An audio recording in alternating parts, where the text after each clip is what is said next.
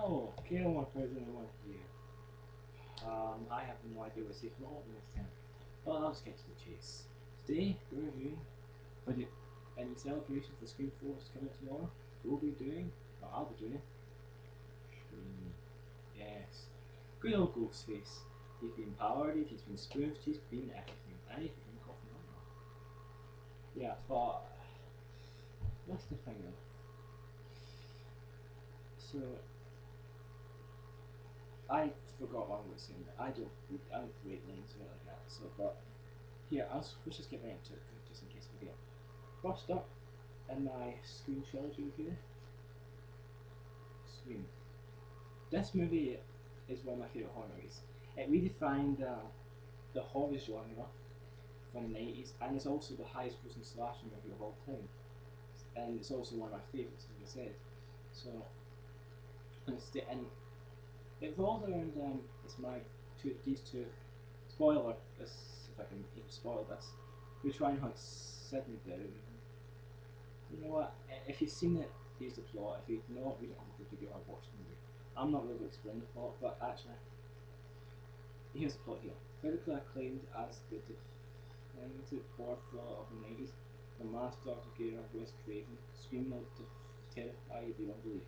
True and Scream is this. I probably place it maybe somewhere in my top five of my favourite horror movies.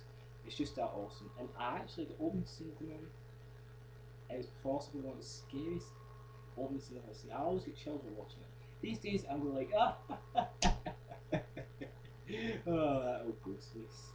Yeah, he's just that bad. But I do like Scream movies, and, and Scream's definitely one of my favourites. And and if you're if actually know it's kind of a love or hate kind of thing Scream is. Same for sequels. And that belongs to first the sequels. Scream 2.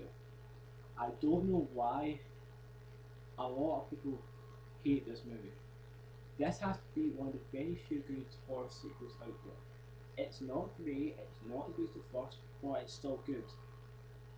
And here's a tiny bit. Plays here. Master Jason. Sidney Prescott thought that she had put the shocking Woodsboro murders behind her until a crazed copycat killer begins acting out a chilling real-life horror secret on her college campus. Yes, so Ghostface is not fucked it. And this time, the twist in this, spoiler, I said, um, I know um, this is a messed up review, but I'm not in a rush here. Um, so at this time, it's the the parent, the cycle in the first movie it's her mother at this time, so pretty decent twist. Okay. But like I said, it's one of my favourite horror sequels, and I thought of were a little bit harsh. Uh, like, so I very if you haven't seen it, check it out. If you love the first movie, definitely check it out. If you've seen the sequel, if you didn't like the sequel, one, chances are you won't like this one. Then we come to the third and final screen. Well, that is until the fourth one out again, a lot of people fucking hate this movie. Um, I personally don't mind it. It's not. It's my least favourite Scream movies, but I don't mind it. I mean, it's if it was the last chapter, it's maybe a lot better, but it's not. It's just a pointless movie. But and the twist in it is a little bit too far fetched. I have to admit, but um, it's a, it's supposed to be supposed to be friendly, which means I was trying to end it off, so if you actually did it, it's like this for like 11 years till tomorrow. But Scream 3, really a lot of people are horse this movie. Um, I would give it a, a if, again, if you really like the first two movies like I did, I would watch it. If you didn't like it, then what's the point of fucking watching it? Um, the series overview, here's what I thought of each movie. Scream um, 9.5 out of 10. One of the best horror movies I've ever seen. Scream 2. Kind of hard. I'd probably get this an 8.5, maybe an 8. Date. Um, don't know, but again, like I said, it's one of the very few. It's one of the very few good horror sequels in there. Probably it's actually probably it's actually my top three along. It's all, all on my top list. Nightmare on Elm Street 4, Halloween 2, um, On the Darkness all. I haven't seen On the Darkness, but am I seeing? And um, the last one I'd probably give it a 7.5. I mean, it's been generous, it's been average, I'd probably give it a 7. Like I said, if you're a die-hard Scream fan, you probably would like it.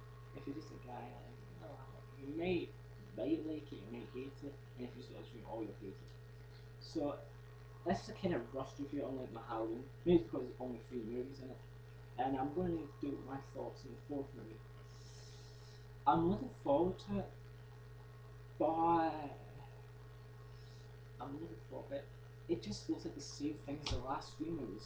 I was hoping for something different, but judging by it, it's just the same thing. Although Rotten Tomatoes it's currently got 64, which is a lot higher than Free, but just not as good as the first two. Overall, I was looking forward to it, but it just is like the same crap over and over again. And I can actually predict, I think I know who the killer is, now. although this is also a special effect, but the is like, oh, it looks like. And just obvious. So uh, that's all I have to say. My next issue probably will be Scream 3. I'm also going to do my first top 10 list. Only it's not going to be top 10, it's going to be top 15. Yeah. I would put Honor Darkness that list, but I haven't seen it yet, but I, I will put it on it, just in case. But anyway, um, my name's Kelvin, my is the one. I watch these movies because I want to, because I'm a horror and a horror. I need to find a tagline, because someone give me a can, if people are generous, like, can you try and give me a tagline? Judge it by my personality. I would really appreciate it. Thanks. See ya.